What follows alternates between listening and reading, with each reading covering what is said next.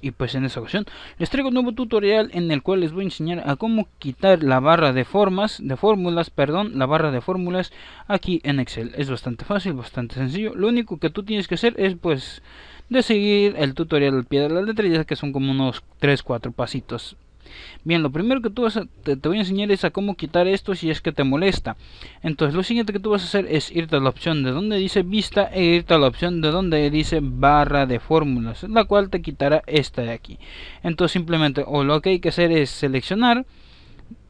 eh, donde está aquí donde dice barra de fórmulas quitamos lo que es la palomita y como tú notas te quitará esa opción de aquí así que si te puedo ayudar por favor apóyame con un like suscríbete al canal comenta o comparte el video muchas gracias